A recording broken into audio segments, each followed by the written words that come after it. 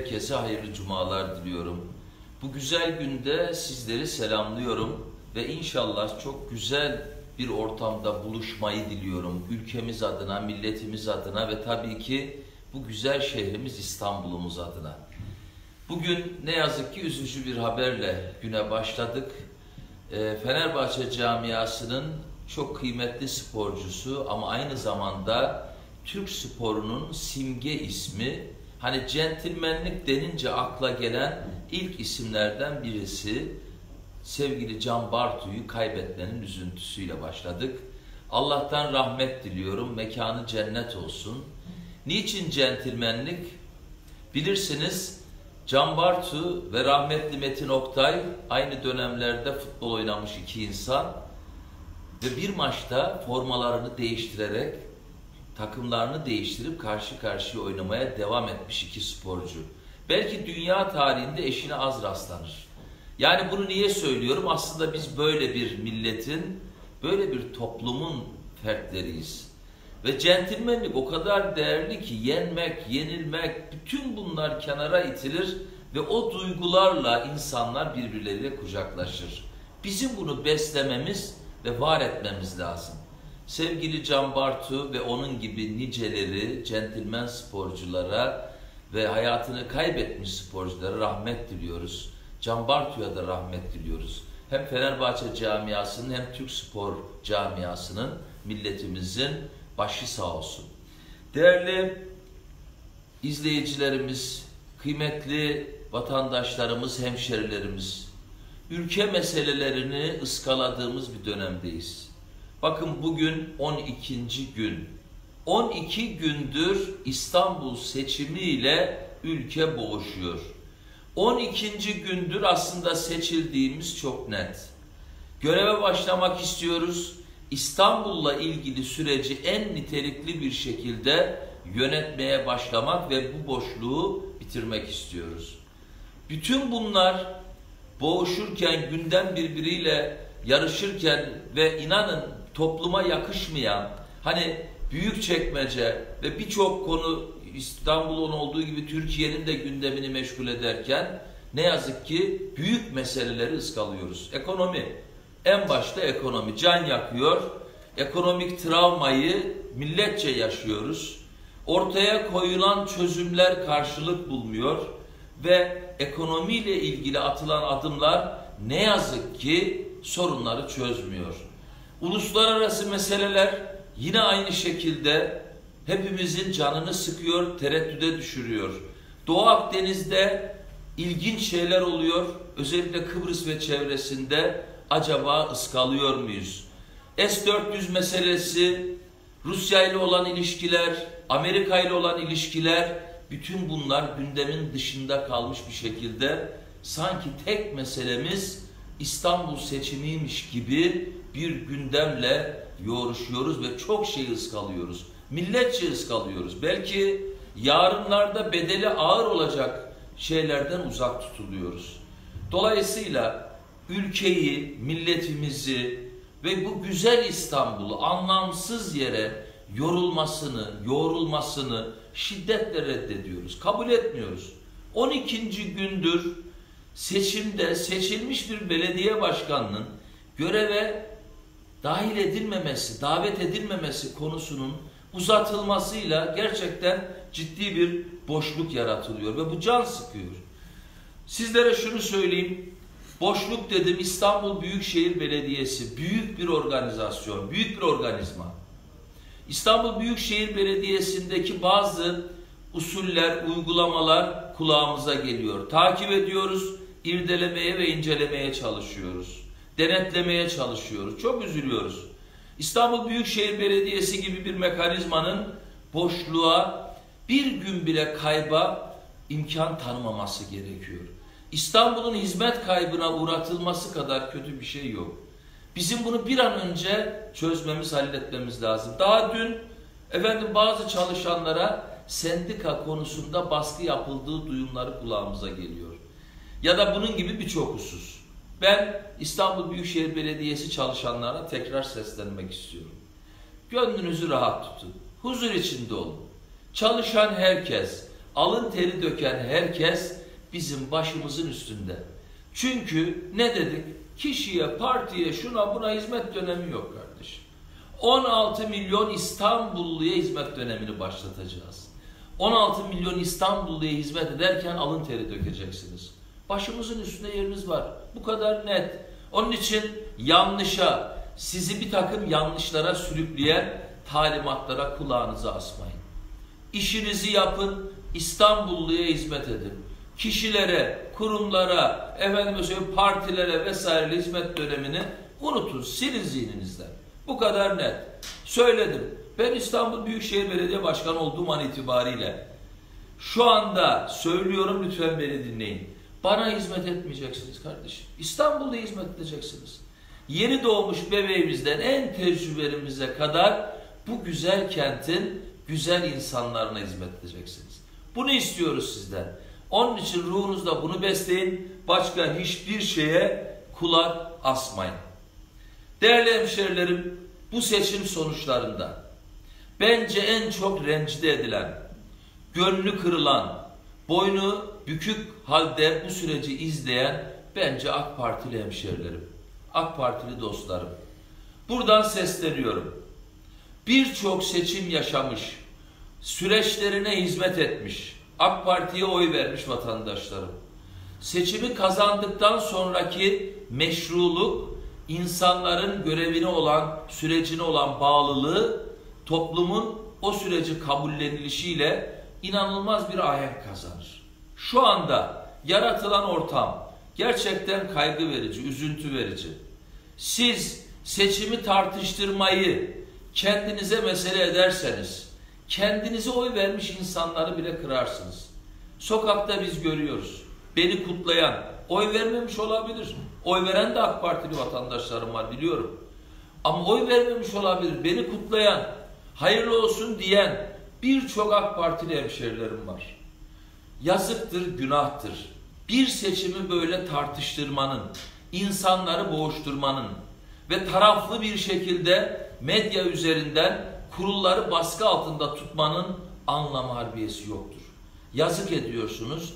En başta benim AK Partili hemşerilerime yazık ediyorsunuz. Onların kalplerini kırıyorsunuz. Söylüyorum.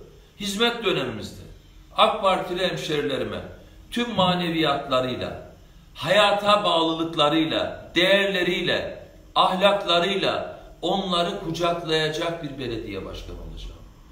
Çok net. Bunun dışında bizden tek bir hamle kimse bekleyemez. Bakınız, Yüksek Seçim Kurulu'na seslenmek istiyorum. Maltepe'de 12 gündür sayım işlemi devam etmekte. Bitirin artık bu işi. Anlamsız yerde orada frene basılıyor.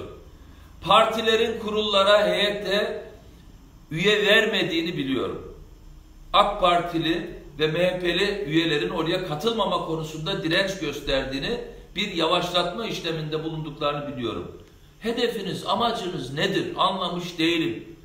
İlçe seçim kuruluna sesleniyorum, il seçim kuruluna sesleniyorum. Tedbir alınması konusunda yüksek seçim kuruluna sesleniyorum. Bugün yarın bitecek bir meseleyi 12 gündür süründürmenin bir anlamı yok. Yazık günah. Maltepe'deki o sayım işleminin bir an önce bitmesiyle yüzde 98'e aşan sonucun belli olduğu İstanbul seçiminin defterinin altı çizilmiş olacak. Bitti. Sonuç ortaya çıkacak. Bu geciktirmenizin hiçbir anlamı yoktur. Rica ediyorum, göreve davet ediyorum. Maltepe Seçim Kurulu'nu ve İl Seçim Kurulu'nu aynı zamanda Yüksek Seçim Kurulu'nu bu konuda tedbir almaya davet ediyorum. Bunu yaparsanız İstanbul'la ilgili seçimin, defterin, o sürecin altı çizilmiş olacak. Bu kadar net. Bu bağlamda aynı şekilde büyük çekmecede yaratılan travmayı da tekrar hatırlatmak isterim. Türkiye Cumhuriyeti tarihinde böyle bir uygulama ilk defa. Evlerin kapıları çalınıyor. Seçmen tek tek aranıyor. Ne yaratılmak isteniyor? Bakın uygulamalar net. Geçmişe dönük seçim kurullarının ortaya koyduğu listeler üzerinden hiçbir iddiada bulunulamaz. Suç, şahsiyet, şahsilik taşıyorsa ve şahsilik anlamında bir gereği yapılmak gerekiyorsa buyurun yapın kardeşim. Buyurun yapın. Eğer orada ilçe nüfus müdürü ya da orada bir sorumlu kişi ki tutuklandığını biliyoruz. Suçlar varsa buyurun yapın ama bir seçimi şaibe altında bırakacak şekilde davranırsanız ve aynı şekilde bütün ilçeyi abluka altına alıp insanlarını rencide ederseniz, moralini bozarsanız, bu uygulamayı bir örnek şekliyle ortaya koyarsanız Türkiye'nin geleceğine, seçimlerine şimdiden gölge düşürmüş olursunuz. Böyle bir kaosu buradan bir netice elde etme çabasıyla sözüm ona bir partinin iddiasına delil toplama kavramıyla hareket ederseniz Türkiye'nin seçim geçmişe dönük ve bundan sonraki seçimlerini zan altında bırakırsınız. Bakın seçim özgürlük doğurur. Seçim insanlara moral verir. Yapmayın. Büyükçekmece halkı rahatsız. Ben Büyükçekmece halkıyla görüştüm, sohbet ettim, gittim, telefonla görüştüm. Eşim, dostum, hemşerilerim, akrabalarım var. Üzülüyorum. Yapmayın. Buna son verin. Bunu bir delil olarak kabul ederek seçime gölge düşürme çabası olanları kınıyorum. Çok net kınıyorum. Kınamamın bir başka gerekçesi var. Orada çıkıp açıklama yapan, adayım diyen kişinin tüm yakınlarının şahsı dahil olmak üzere kendilerini taşıdıkları adresleri vesaireleri tespitli tamamen tamamen uydurma bir nakil ortada yapmayın. Hani şöyle bir şey var. İnsan aklından geçenleri anlatırmış misali sanki kendi yaptığını anlatmaya çalışan bir aday yazıktır, günahtır. Yapmayın. Seçime şaibeleri katıp insanları rencide etmeyin. Böyle devam ederseniz bakın bu ülke seçimler yaşadı. Daha dün Cumhurbaşkanlığı seçimi yaşadı. Ondan önce referandum. Beş yıla yedi seçim sığdırdık. O zaman her seçimle ilgili meşruluğu konusunda insanların zihnine gölge düşürürsünüz. Olmaz. Olmaz. Her seçilenin kabulüyle ilgili bir süreç vardır. Yazık edersiniz. Bakın ben size bir şey söyleyeyim. Kimse İstanbul Büyükşehir Belediyesi'ni, oradaki makamlarını, mülkü olarak kabul etmesin kardeşim. İstanbul Büyükşehir Belediyesi 16 milyon insanın değeridir, varlığıdır. Birini görevlendirirsiniz, süresi biter gider. Yapmayın. Biz göreve başlarız. Demokrasi bu. Beş yıl sonra bir başkası gelir. Bu işin doğallığında vardır. Bakın ben beş yıl Beylikdüzü'nü yönettim. Şimdi görevim bitti, görevimi de devrediyorum. Bu kadar net. Mülküm değil, malım değil, şahsilik içermez. Milletin malı bu nedir? Bir şeye sarıldık bırakmıyoruz gibi. Bakın ben söyleyeyim, size oy verenlerin kalbini kırıyorsunuz. Size oy veren insanları rencide ediyorsunuz. Toplumu rencide ediyorsunuz. Uluslararası alanda insanlar bizi takip ediyor. Siz bu ülkede seçimlerin meşruluğunu koruyamazsanız uluslararası toplumda buradaki seçilen insanların meşruluğunu kabul etmez. Yapmayın. Milletçe demokrasinin damarlarına biz nefes verelim, kan akıtalım. Böyle güzel bir ortam, yani insanların canlı bir şekilde yaşayabildiği, birbirini kucaklayabildiği, birbirine sarıldığı bir ortam oluşsun. Yapmayın. Bakın ben ne dedim? Birinci meşrutiyetten bu yana yani herkes bir, bir iki yıl yanılgısıyla bizi başka şeylerle bir yorumlamaya ve yargılamaya çalışsa da net. Abdülhamit Han birinci meşrutiyetle bu toplumun önüne sandık koymuştur. Belki hemen sonrasında 93 Harbi'yle bir sıkıntıya uğramış olabilir. Ama 1908'de ikinci meşrutiyetle tekrar Abdülhamit Han bu milletin önüne yine sandığı koymuştur. Yani 1876'nın Aralık ayından beri biz demokrasi ve sandık mücadelesi veriyoruz. Bunu sekteye uğratmayın. Son olarak Yüksek Seçim Kurulu'na seslenmek istiyorum. Yüksek Seçim Kurulu tarihi bir vazife yapıyor. başka bir ihtimali ve alternatifi şiddetle reddediyorum. Bu toplumun kararına ve kararlılığına gölge düşürecek, insanları umutsuzluğa sürükleyecek hiçbir kararı almaya kimsenin hakkı yoktur. Yüksek Seçim Kurulu Türkiye'mizin seçimlerdeki meşruluğunu ve devamlılığını, demokrasinin devamlılığını koruyucu ve geliştirici kararları almakla mesul bir kuruldur. Dolayısıyla lütfen başka bahaneler aramaksızın toplumun ve İstanbul'un sağduyusunu, maneviyatını yok saymaksızın kararınızı vererek bir an önce toplumu rahatlatmak mecburiyetindesiniz. Yüksek Seçim Kurulu elinde tüm verileri her şeyle var. Ve gölge düşürücü hiçbir unsuru yok. Süreç belli. Gölge düşürenleri de biliyoruz. Anadolu Ajansı gibi kendi koltuklarını düşünen, kendi siyasi partiler içerisindeki birkaç kişi gibi o insanları da biliyoruz. Ama onun dışında toplum bu süreci yaşamış, kabul etmiş, seçim belli. İstirham ediyorum. Yüksek Seçim Kurulu kararınızı verin, işimize başlayalım. İstanbul'un kaybedecek tek bir anı bile yok. O bakımdan ben kararım bir an önce verilip göreve milletiyle beraber 16 milyon vatandaşıyla beraber göreve başlayacak enerjiye sahip bir şekilde süreci bekliyoruz ve sizlere şunu söylemek istiyorum bu mübarek bu güzel cuma gününde toplumumuza, milletimize kardeşliği aşılayalım. Çocuklarımızı düşünelim, geleceği düşünelim, aklı düşünelim, bilimi düşünelim, üretmeyi düşünelim. Başka şeylerle uğraşmayı bir kenara bırakalım. Artık boş işlerle uğraşmaktan bu millet yoruldu. Eğitimi düşünelim, sağlığı düşünelim. Bu güzel İstanbul'un sağlıklı bir çevreye kavuşmasını düşünelim.